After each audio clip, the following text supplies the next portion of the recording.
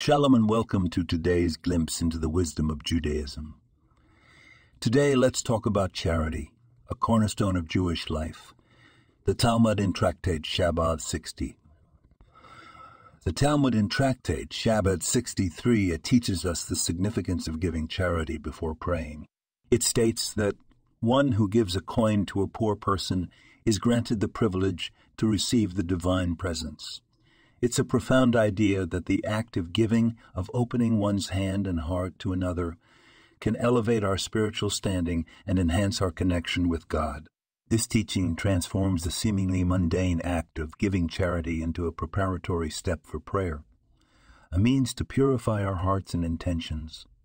It reminds us that our social responsibilities and our relationship with the divine are deeply intertwined. Before we stand in prayer, seeking closeness to God, we're encouraged to first draw closer to our fellow human beings through acts of kindness and giving. Remember, every act of charity is a step towards the divine, a bridge that connects the material to the spiritual, the self to the community, and the community to God. This podcast was produced and sponsored by Daniel Aharonoff